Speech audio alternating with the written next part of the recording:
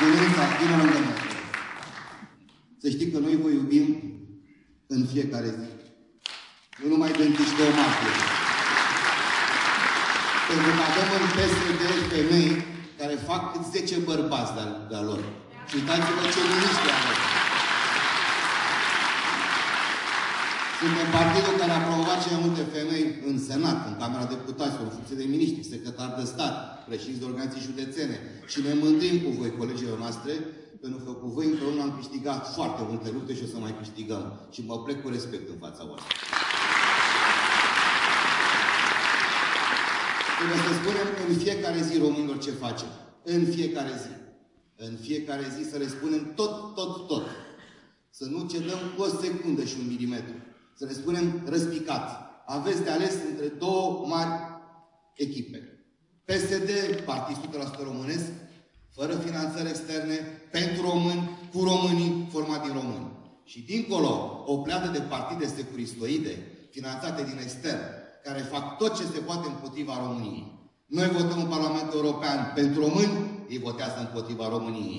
Noi cerem să aducem aur înapoi în țară, ei spun că aurul trebuie să fie la străini. Orice proiect, orice lucru, acum și buget, și la buget se opun. Trebuie să răspundem românilor așa, că mărim salariile și pensiile și continuăm să o facem, să construim țara în fiecare zi. Dar trebuie să știți, frați români, că dacă ăștia apucă o zi de putere, vor lua absolut tot. Și nu putem să riscăm, pentru că în spatele nostru, cu munca dumneavoastră, celor din sală, celor de aici din spate, stau milioane de voturi de care nu trebuie să ne batem joc.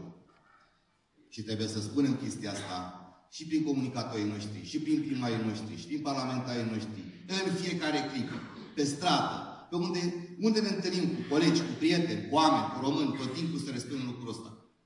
Să știe exact care este miza. Miza anul ăsta la europarlamentare și prezidențiale este țara însă și este România. Și pentru ea ne luptăm.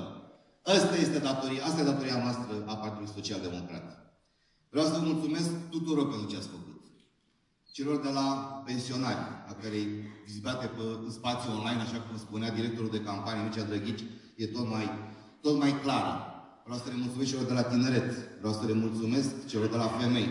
Foarte mult, aveți foarte puternică organizații. Le mulțumesc primarilor, pentru că au știut în această perioadă să arate românilor ceea ce face guvernul pentru ei, împreună cu ei. Suntem puternici și cu asta închid și avem niște bătării foarte grele de dus.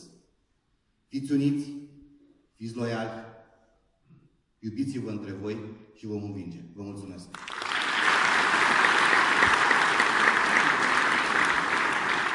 Doamna președinte, puteți să preluați conducerea organizației.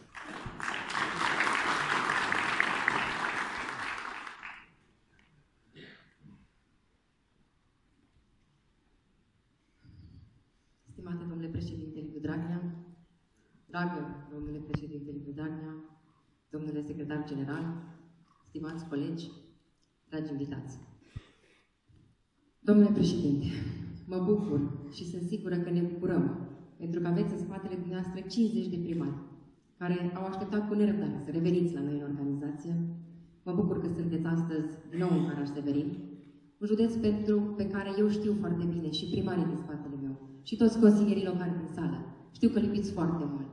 Și spun lucrul acesta doar din prisma unui singur fapt.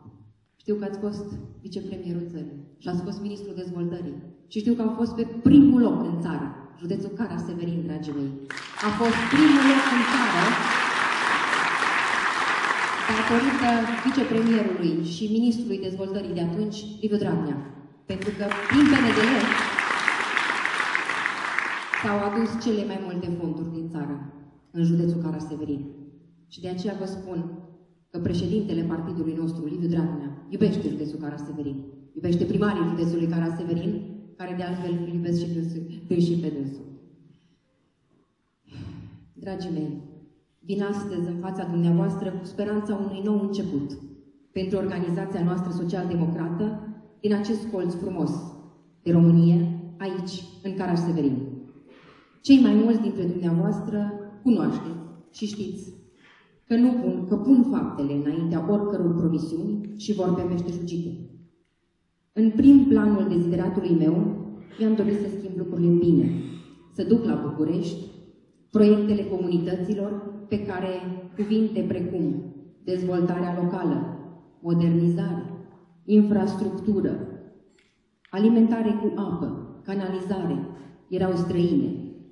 Consilierii județeni sau consilierii locali, simpli membri ai PSD, să aveți un partener de dialog în mine și un om care să vă asculte și să aibă în același timp o atitudine corectă față de cei care au luptat în campaniile electorale pentru ca PSD să fie astăzi cel mai important partid de pe eșichierul politic, dragii mei.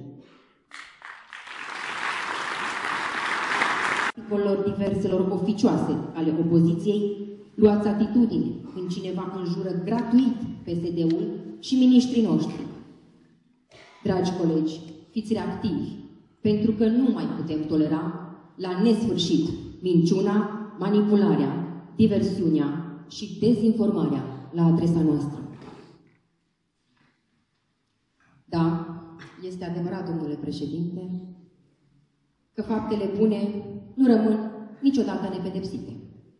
Și tocmai de aceea, parcă astăzi, când într-o serie atât de vastă de domenii, precum medicina, educație, administrație, cultură, românii au avut parte de creșteri salariale, de proiecte sustenabile și necesare pentru România, iată că proporțional cu reușitele noastre, numărul dușmanilor PSD s-a mărit considerabil. Haideți să vedem care sunt cei care vorbesc astăzi și cei care delectează astăzi Partidul Social Democrat, care lucrează activ la destructurarea PSD, care și-au făcut din președintele nostru, Liviu Dragnea, o țintă pentru deranjul creat de domnia sa în zona statului paralel. Pentru că dintr-un ego nemăsurat vor acum cu orice preț instaurarea unui regim pe care să-l controleze acești oameni care și-au arătat măsura prin marile lor fapte de vitejie. Astfel de atitudini îmi doresc să fie trecute la capitolul Istoria tristă. Ușa mea, în calitate de președinte PSD Caraș Severin, este deschisă pentru orice primar, viceprimar, orice consilier local, județean și în funcție de prioritățile hotărâte de conducerea partidului, vom trece la acțiuni. Sunt aici, sunt a dumneavoastră, a celor care mi-ați dovedit și veți continua să dovediți că faceți din PSD una din preocupările dumneavoastră primordiale.